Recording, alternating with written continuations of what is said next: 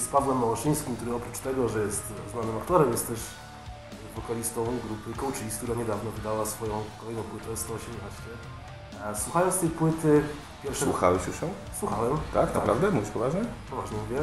Dostaliśmy pro, pro, promówkę z, z Motormindu, tak, O. słuchaliśmy jej. Pierwsze takie skojarzenie to są lata 90. W kawałku Talking Black tam nawet słyszę kawałek System of a Down. E, W kawałku Part of Me jest Eddie Vedder, jest Alice in Chains. E, To jest taki hołd dla tej muzyki, której słuchaliście w młodości. E, czy ja wiem, czy hołd? To nie, chociaż o, o, ogólnie się mówi o że to jest taki postgrunge'owy zespół. No, nie wiem, co to jest postgrunge, ale rzeczywiście jest tak, że to są inspiracje czterech członków zespołu, więc mamy, wiesz, perkusistę, który jest e, Czarka, który jest fanem muzyki progresywnej, ostrej metalowej muzyki. Radek i, i, i Wojtek są to ty- typowi metalowcy, ale rzeczywiście nie obcy im jest grunge i rewolucja z Seattle, Arctic Monkeys na przykład, wiesz, ostatnio, czy Nick Cave, a, a ja jestem rzeczywiście no, wierny jakby muzyce lat 90., która przewróciła mi trochę w głowie, czyli Seattle, nie? I to połączenie jakby tych wszystkich inspiracji równa się Cochise, no i rzeczywiście tam dużo osób porównuje to do różnych zespołów rzeczywiście i do których Danzinga i Metallica, tak jak mówiłeś, Pearl Jam, Właśnie ostatnio też system Down, więc wiesz, no jeżeli ktoś y, w pewien sposób porównuje to, że coś mu przypomina utwór i tak dalej, no to jeżeli przypomina mu takie zespoły, no to tylko się cieszyć. No. Więc dla nas to jest y, komplement, no bo jak, jak się uczyć, jak się, jak, jak, jak się wzorować, to tylko od najlepszych. E, Podkreślasz e, w wielu wywiadach, teraz też to podkreśliłeś właśnie e, rolę zespołu, żeby nie utożsamiać tylko tego zespołu e, z Twoją postacią, która jest no bądź co bądź e, najbardziej, najbardziej znana i kojarzona. I jakiś czas temu rozmawialiśmy z Waldemarem Kasłą, który zakończył karierę w rapie e, i postanowił e, grać też ze swoim nowym synapim grunge akustyczny. Naprawdę? Tak. Bardzo, bardzo, bardzo, bardzo ciekawie mu to wychodzi. E, I w tym momencie, czy nie myślałeś o tym, że tak naprawdę to, weźmy cudzysłów, przekleństwo, czyli to, że jesteście kojarzeni jako zespół Pawła Małszyńskiego, jest też z drugiej strony błogosławieństwem, że gdyby nie to, że, że, że jest ten wokalista z znanym nazwiskiem znaną twarzą, że nie było po prostu trudniej się przebić, bo teraz ten rynek jest taki dosyć e, niechętny do przyjmowania zespołów takich rockowych. Mhm. No to już mi odpowiedziałeś na pytanie. Dokładnie to samo miałem Ci odpowiedzieć. No. Więc jest to w pewien sposób przekleństwo, a z drugiej strony zdaję sobie sprawę, że gdyby nie moja osoba, nikt by o nas nie usłyszał, ale tak naprawdę wiesz, każdy z nas e, zajmuje się muzyką mniej więcej od 20 lat, znamy się z tego samego podwórka, z Białego Stoku. E, razem chodziliśmy na koncerty, jeździliśmy na koncerty, razem spędzaliśmy czas, gdzieś tam się mijaliśmy, każdy z nas był w różnych tam ekipach, te ekipy powstawały, rozpadały się, powstawały demówki, y, potem y, jakieś tam pierwsze płyty, powstawały pierwsze studia w Białymstoku na początku lat 90. No myślę, że to się nic nie zmieniło tak naprawdę, że cały czas to się dzieje w każdym większym czy mniejszym mieście, tych kapel jest od groma. No i rzeczywiście gdzieś tam e, pod, pod koniec mojej szkoły teatralnej, w momencie kiedy rozpadał mi się poprzedni zespół Apogeum, gdzieś tam się rozjechaliśmy pod względem gustów muzycznych, dzwoniłem się na jakieś święta wielkanocne chyba z Wojtkiem, którego już znałem i właściwie grał w pierwszym składzie Apogeum, że może byśmy się spotkali, przyjechałem na chwilę, wiesz, tam jestem po sesji w szkole teatralnej właśnie we Wrocławiu, studiowałem tutaj. Może byśmy się spotkali, dawno się nie widzieliśmy, coś podrzemujemy. No i zaczęliśmy dżemować, raz, drugi, trzeci się spotkaliśmy i stwierdziliśmy, że może coś z tym zrobić. I e, wtedy mm, przyszedł do zespołu za namową e, właśnie Wojtka z Hellraisera Radek. No i tak powstał, zaczął się krystalizować e, zespół Cochise. No.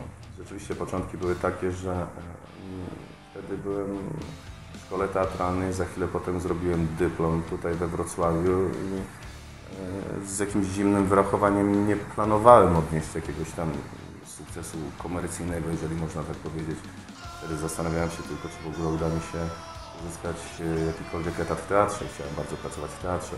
A zespół rzeczywiście był moją pasją i czymś, co stanowi też jakby trzon e, mojego życia, bo nie wyobrażam sobie życia bez muzyki. Nawet gdyby Cochise nie istniało, to pewnie dalej bym nagrywał jakieś pomysły na dyktafon być może za parę lat bym coś z tym zrobił na, we własnym zakresie. A rzeczywiście zaczęło się jakoś to wszystko układać. A w międzyczasie też no, gdzieś zaczęło mi się udawać w tym zawodzie, jeżeli w ogóle można powiedzieć, że cokolwiek mi się udało w tym zawodzie, czyli stałem się osobą tam popularną, rozpoznawalną. I rzeczywiście przyznam się do tego, bo jakby się tego absolutnie nie wstydzę, że w momencie, kiedy moja popularność osiągnęła pewnego rodzaju apogeum, a zespół się rozwijał, no to ja się wycofałem, bo raz, że mnie trochę przygniotła popularność na samym początku, a z drugiej strony wiedziałem, że to źle wpłynie na zespół. Przede wszystkim nie bałem się o siebie, ale się bałem o nich, no, bo wiadomo, że e, nie byli przyzwyczajeni do, do tego typu poklasku i jakiegoś tam pogłosu i wiedziałem, że ludzie niezwiązani e, absolutnie e, z moją osobą będą mogli, będą mieli możliwość jakby odbierania tego w zupełnie inny sposób. No, cały czas gdzieś tam jesteśmy też jeszcze odbierani, cały czas jako zespół Pawła Małaszewskiego, aktora i tak dalej, że to właściwie nic z tego nie jest i nic z tego nigdy nie będzie. My jesteśmy zwyczajnym zespołem, który gra muzykę, a z drugiej strony ja się strasznie bałem koncertować, żeby nie wpaść właśnie w jakieś takie kolejny e, e, udowadniania czegoś, bo cały czas miałem na swoich barkach, że grałem w zespole taką, a nie inną muzykę, która jakby jest moim krwiobiegiem i interesuje się tą muzyką od 20 lat. Będę musiał coś udowadniać. No, rzeczywiście na początku tak było, ale bałem się koncertowania. Tak naprawdę za namową chłopaków, którzy mi powiedzieli pewnego dnia, tylko dlatego, że stałeś się znany, nie będziemy rozwiązywać kapeli, w której się dobrze czujemy wszyscy i no, kochamy to, co robimy, więc zacisnąłem zęby i zaczęliśmy koncertować. No i w tej chwili tak naprawdę nie, wyobra- nie wyobrażam sobie życia bez koncertowania, bo wiem, że w tych czasach egzystencja zespołu polega przede wszystkim na koncertowaniu, bo wtedy można się spotkać twarzą w twarz z zespołem, tak naprawdę posłuchać, jak niektórzy strasznie lubią e, ocenić. Bo wiadomo, że studio jest magną. Zobaczymy, że nas dzisiaj niemodną, bo kiedyś 20 lat temu węki leciała Nirvana, dzisiaj zdecydowanie dominującymi gatunkami są hip-hop i muzyka elektroniczna. No jeżeli w ogóle... było takie pójście pod prąd. Znaczy, jeżeli w ogóle, w ogóle znajdziesz jakiś kanał muzyczny w telewizji, bo ja akurat nie, nie znam kanałów muzycznych w telewizji. To z nami na Rebel TV coś poleci. Już nie, już Rebel TV też się zmienia. Tak? Już też się dawno, dawno nie oglądałem. Już Rebel TV też się zmienia niestety. Wiem nawet z pewnych źródeł, co z tą telewizją będzie, ale wolę nie mówić. więc, więc rzeczywiście no, ten rok gdzieś tam w dzisiejszych czasach zszedł troszeczkę do podziemia, nie mówiąc oczywiście o zespołach, yy, oczywiście, które powstawały gdzieś tam pod koniec lat 80., początek 90., czyli nie wiem, T-Love, Hey, wiesz, no, czyli cała podstawa AC Drinkers, nie? No to rzeczywiście te zespoły egzystują, są kapitalne, idą do przodu, rozwijają się cały czas. Mm, A tym młodym zespołem rzeczywiście, jeżeli chodzi o muzykę rockową, jest trudniej. Ja ostatnio nawet z chłopakami siedząc tak na, po jakimś koncercie zacząłem się zastanawiać, czy jesteście w stanie wymienić mi pięć zespołów w ostatnim dziesięcioleciu młodych, które eksplodowały z muzyką rockową w Polsce, osiągnęły tak zwany szczyt, jeżeli można tak nazwać, tak zwany e, szczyt e, mm, muzycznej doskonałości w tym kraju. Jeszcze chciałem zagadać na temat tych angielskich, yy, tych pisanych Mhm. angielskich tekstów. Chciałem że to jest taki przemyślany zabieg, że wszystko jest nagrywane właśnie nie po polsku. Pró- Próbowane są, podejmowane są jakieś próby przekazania tej muzyki na rynek zagraniczny, gdzieś staracie się to promować w sieci może. No 118 na pewno ma premierę, premierę za chwilę w Europie i w Stanach Zjednoczonych, ale to, to, to nie, nie, nie, nie z tego powodu. A ile płyt słuchałeś naszych tak naprawdę? No właśnie tej nowej i pierwszych płyt. Pierwszych płyt, no to widzisz, na Still Alive z 2010 roku tam były 4 czy 5 utworów, po, Tak, tak. Tam, tam były, więc to nie jest tak, że my się odcinamy od języka polskiego absolutnie, tylko na dzień dzisiejszy jakby jak tworzymy muzykę, to zaraz wiesz, no, ja jak mm, tworzę melodię gdzieś tam w głowie, powstają moje pomysły, to od razu je przekształcam na język angielski, jakoś tak dosyć naturalnie. Być może to jest też ze względu na to, na jakiej muzyce się wychowałem, na przede wszystkim na anglosaskiej, podobnie jak chłopaki. I tak było na przykład w przypadku na poprzedniej płycie Back to Beginning, gdzie mieliśmy mieć chyba ze dwa czy ze trzy utwory miały być po polsku, ale kompletnie to nie leżało, no kompletnie, absolutnie w ogóle próbowaliśmy, próbowaliśmy, no masakra, już mieliśmy, byliśmy w stanie je wyrzucić w ogóle, nie? E, No i któregoś dnia na próbie po prostu, no spróbujmy tam sobie zrobimy, jak to ja zawsze mówię, po tym takim słynnym angielsku. A squares you're walking, just wanna you where should go? Bo tak zazwyczaj to powstaje na początku, jak nie masz tekstu, to tak snucić i słuchaj, pasuje perfekcyjnie. A czy też e, nagrywając płytę 118 masz e, wrażenie, że to będzie jakaś swojego rodzaju płyta przełomowa, że akurat tą chcecie Nie, ale odbić rynek też nazwijmy tak? Słuchaj, ja wiem, czy wiesz, to jest to zdanie podbicia rynku jest tak różne i cholera wie, no w życiu byś się nie spodziewał, co może podbić rynek. No, nie, ma, nie, nie masz bladego pojęcia, jak się przebić. No.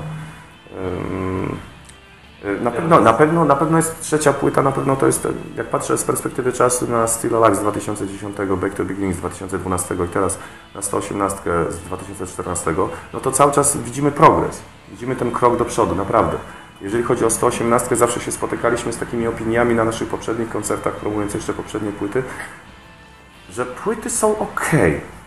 Nie, naprawdę są ok, tylko kurczę, no nie ma tego, co prezentujecie na koncertach. Taka energia, taka prawda, aż po prostu człowieka rozrywa. Nie ostatnio nam facet powiedział na koncercie bardzo fajną rzecz, jak słucham waszej muzyki, chcę się kochać z dziewczyną, chcę pójść zabić drugiego człowieka, wiesz, i tak dalej, więc wpływa na jakieś różne emocje to jest, to jest, to jest fajne, znaczy mam nadzieję, że do tego nie dojdzie, ale Boże jedyny. ale wiecie, to jest fajne, że jest odbierana w tak różny sposób. I wiedzieliśmy o tym, że musimy spróbować czegoś innego i, nas, i 118 nagraliśmy na setkę żeby uzyskać właśnie tę taką jakąś emocjonalną prawdę koncertową, żeby gdzieś, gdzieś był ten ułamek e, minimalny właśnie tego, mm, co dajemy publiczności na koncertach. Czy nam się to udało? Nie mamy pojęcia, ale my na pewno z, z tej płyty jesteśmy bardzo zadowoleni. Trudniej nagrywa się na setkę? No myślę, że tak. No, na setkę nagrywa się trudniej, ale jest to też taka bardziej twórcza praca. No, na pewno dużym problemem było dla mnie nagrywanie na setkę, dlatego że wiesz, no, po trzech, czterech utworach tracisz głos, nie? Jak się tam drzesz po parę razy. Ale rzeczywiście, no wiesz, to jest takie spójne przede wszystkim, wiesz, no perkusja z basem. To zupełnie inaczej brzmi, wiesz, i Wojtka gitary. I potem jak dogrywałem e, wokal na samym końcu, no to rzeczywiście, no czułem się, czułem się taką, taką e, niespożytą energię. Czułem się, czułem się nagrywając te płyty jak na koncercie. Bardzo trudno jest jakby w dzisiejszych czasach się przebić, ale też myślę, że z tego powodu, że w pewien sposób y, nauczyliśmy y, publiczność, y, nie tyle też telewizyjną, co publiczność muzyczną do takiego prostego i łatwego rozumienia muzyki czy sztuki poprzez różnego rodzaju, takie jak inne programy w telewizji przede wszystkim. Telewizje muzyczne przestają istnieć tak naprawdę, no MTV jest teraz jedną wielką jakąś taką, wiesz, no, paczką popcornu, więc... Ja to na to ostatnio wpadłem, bo ja nie wiedziałem, co to jest. Jestem ogólnie abnegatem internetowym. Nie, wpadłem na to, znaczy nie przypadkiem, bo ktoś powiedział, że muszę to zobaczyć. Szczerze powiem, że nie wierzyłem w to, co zobaczyłem. Myślałem, że to jakiś żart, ale... No okej, okay, no widocznie, no tak, tak, to się dzieje w dzisiejszych czasach tak jak mówię, no jedynym takim źródłem, który mógłby jakby promować moim zdaniem muzykę tego typu jest radio, z którym też nie jest prosto, bo tych rozgłośni radiowych, które puszczają tego typu muzykę jest, jest bardzo mało. My po raz kolejny spotkaliśmy się z brakiem patronatu radia na przykład, nie? które moim zdaniem jest właśnie takim najlepszym wyznacznikiem do tego, żeby promować tego typu muzykę. No, ale znowu nam się nie udało, ale też z drugiej strony jakby nie poddajemy się i czy idziemy pod prąd, nie wiem, czy idziemy pod kąt. Na pewno gramy to, co lubimy, wiesz, i też jest fajnie, że ani poprzednia nasza wytwórnia, czyli Mystic, i w tej chwili Metal Mind Production nie narzuca nam absolutnie niczego, że mamy grać w taki, a nie w inny sposób, bo coś jest niepopularne, a może lepiej, żebyście zaśpiewali po polsku, bo to się lepiej sprzeda, czy w radiu i tak dalej. Nie. Rzeczywiście da, dają nam wolną rękę i z tych materiałów są zadowolone. A że się sprzedają tak, jak się sprzedają, to wiadomo, no my też nie planowaliśmy nigdy z góry e, osiągnąć jakiegoś totalnego sukcesu i, i, i czerwonych dywanów. Jeżeli mielibyśmy wejść w mainstream tak zwany, to bardzo chętnie w niego wejdziemy, bo absolutnie się przed tym nie bronimy, ale na naszych zasadach. Czy uważasz na przykład takie wystąpienie w jakiej to melodii, z playbackiem, z e, chórkiem i tancerzami, czy to jest jeszcze akceptowalne, żeby pokazać więcej muzykę, czy to już jednak jest ta granica? Słuchaj, y, y, no jaka to melodia, to raczej nie, ale wiesz, no zagraliśmy i pewnie zagramy po raz kolejny w programie Kuby Wojewódzkiego, więc tam się gra z playbacku. Absolutnie, więc być może będzie jeszcze jakiś jeden program, w którym uda nam się wystąpić, ale też tam się gra z playbacku. Więc y, nie ma w tym nic takiego nadzwyczajnego. Pewnie, że wolelibyśmy zagrać na żywo, ale po prostu no, reguła programu nie pozwala na granie na żywo. Więc, ale jaka to melodia, to raczej nie. No to byłoby to dosyć absurdalne. Niektórzy po prostu stawiają różne granice takiego programu komercji. Ja z partii dla niego już Woodstock jest niekomercyjny, dla niektórych jest granie z playbacku, a jest dla niektórych wystąpienie na dniach miasta. Nie, absolutnie. Jeżeli chodzi, jeżeli chodzi o Kocis akurat, to naprawdę gramy w różnych miejscach. Graliśmy w tak różnorodnych miejscach, że graliśmy słuchaj, w klubie Gołdą, no. graliśmy w jakiejś stodole, graliśmy w domu weselnym. Więc wiesz, no teraz są różne miejsca do grania, no, absolutnie liczy się, wiesz, że koncertujemy, gramy, wiesz, no i przychodzą na nasze koncerty ludzie i wiesz, i się tą muzyką dzielimy. To jest myślę najważniejsze. A miejsce nie ma tak na, naprawdę znaczenia, ale oczywiście Kapitalnie byłoby, wiesz, zagrać na Woodstock, zagrać na Openerze, czy na Off Festiwalu, wiesz, u Rojka. Ale no, na razie nam się to nie udaje, ale gdzieś tam małymi tymi krokami e, staramy się, żeby e, te nasze marzenia się zrealizowały, ale też nic nie na siłę, nic nie na siłę absolutnie. A czy przygotowanie, warsztat aktorski pomaga w e, koncertowaniu, w wyjściu na scenę, czy to się w ogóle nie przykłada? E, znaczy to jest podobny, podobny stres, bo ja nie przeczę, że tak samo jak na deskach teatru czy czy, czy na scenie z zespołem, to się stresuje zawsze. Zawsze absolutnie ta trema i ten stres jest, jest wręcz wszechobecny na, na każdym występie. Ale to zazwyczaj tak jak w teatrze, to jest pierwsze tam dwie minuty, tak samo zawsze mówię, że jeżeli chodzi o zespół, to jest pierwszy kawałek zawsze na straty. Bo to jest przyzwyczajenie się do sali, przyzwyczajenie się do publiczności, do nagłośnienia, do tego wszystkiego, a potem to już naprawdę leci. Ale trema jak najbardziej jest, jest mile widziana, bo to znaczy, że uważam, zawsze uważałem, że jeżeli się tremujesz, to znaczy, że Ci zależy. Przedstawienie teatralne jest taką operacją na żywym organizmie, ale to też jest z drugiej strony też ciekawe i, i takie e, mobilizujące, dlatego że kiedy się otwiera kurtyna, czy słyszę pierwsze dźwięki gitary czy perkusji, tak naprawdę nie wiem, co się wydarzy przez najbliższe dwie godziny. Ja na przykład koncertując kompletnie się zatracam, czasami oglądając jakieś tam nagrania na YouTubie, czy tam jakieś inne, to, to, to zastanawiam się, Boże, jak ja to zrobiłem, albo co żeśmy tam wyprawiali. Nie, nie kontroluję się absolutnie, kiedy schodzisz ze sceny, absolutnie staję się znowu normalnym człowiekiem, ale jest to takie mm, jakby ucieczka w pewnego rodzaju takie szaleństwo, wiesz, absolutnie niekontrolowane, wiesz. Zawsze uważałem, że zadaniem zespołu jest stworzenie pewnego rodzaju rewolucji, jest takim, żeby wchłonąć publiczność, no, oddać im energię, którą oni nam dają, ale zawsze to zadanie stoi po stronie zespołu, że na początku my musimy dać tę energię, żeby potem od nich ją odebrać, kiedy już nie dajemy grać, a my już dobijamy 40.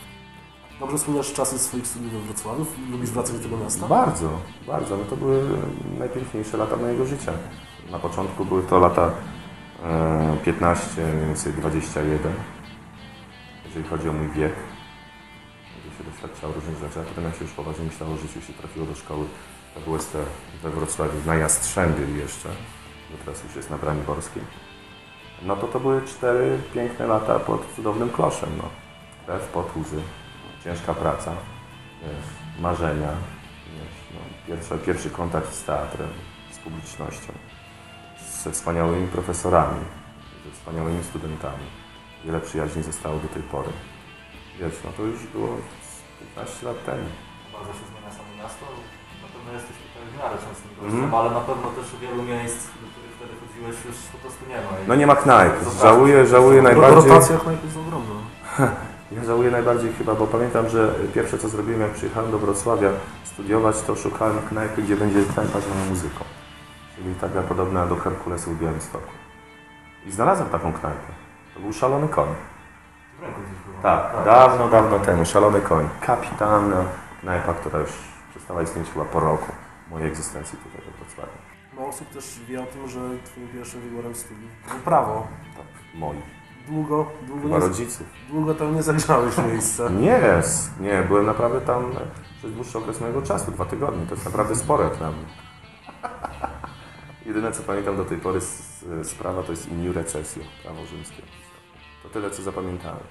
Nie, po dwóch tygodniach palnąłem w to, chociaż rodzicem przyjęli, że chodzę do tej szkoły, już absolutnie nie chodziłem. Oczywiście pewnie jestem wpisany w aktach, że byłem przez rok, ale tak naprawdę chodziłem tylko przez dwa tygodnie. Potem to już bumelowałem z kumplami. Czyli to raczej szybko zorientowałeś się, że to w ogóle nie jest Nie, nie, absolutnie, absolutnie. po prostu z konformizmu. Ja to, ja to zrobiłem tylko dlatego, że wiedziałem, że chcę zdawać do szkoły y, aktorskiej, ale bałem się, że nie zdam matury i dlatego chciałem się solidnie przygotować do matury e, i mm, dlatego nie zdążyłem się przygotować do szkoły teatralnej i musiałem coś wybrać. No to rodzice podpowiadali, żebym poszedł na prawo, no i po prostu poszedłem na to prawo, zdałem egzamin. I byłem na nim no, przez dwa tygodnie, potem oczywiście musiałem się imać jakieś innej roboty i inne studia, to wybrałem chyba jakieś hotelarstwo, gastronomia i hotelarstwo, w ogóle tam chyba też byłem przez miesiąc, więc wiecie, no to na tych czasach się poszukiwało, szukało się czegoś, żeby w ogóle, żeby rodzice ci nad głową nie, nie skakali, wiesz.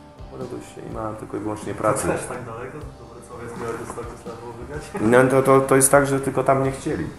A nie było łatwo się dostać. No nie, no, znaczy za moich czasów, znaczy ja pamiętam egzaminy do Wrocławia, to, to był 98 rok.